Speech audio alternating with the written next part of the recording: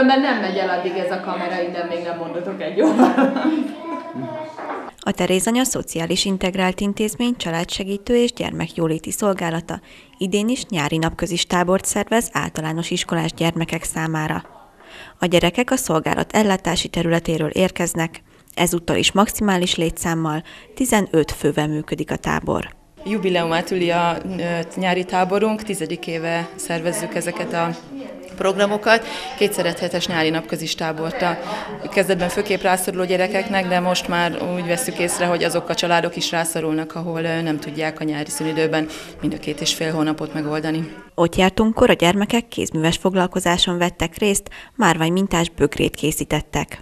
Forró vízbe beleöntöttük a körömlakot, és a bögrét is a fülénél fogva belemártottuk.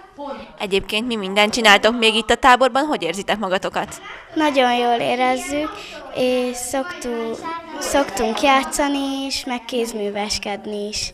Kelemen Krisztina gyermekkorában többször is táborozott a szolgálatnál, mint mondta, nagyon jó emlékeket őriz azokról a nyarakról, így idén úgy döntött, hogy diák munka keretein belül immár felügyelőként veszi ki részét a táborozásból. Amikor én még kicsi voltam, akkor én is voltam ebben a táborban, és kicsit jó érzés ide visszatérni, és a gyerekek is aranyosak, és ez végül is jó mulatság, munka végzés gyanánt. A szervezők elmondása szerint az iskolai év után a gyerekek a kötetlenebb elfoglaltságokat kedvelik, így igyekeznek minél színesebb és változatosabb programokat szervezni nekik az egy hét alatt.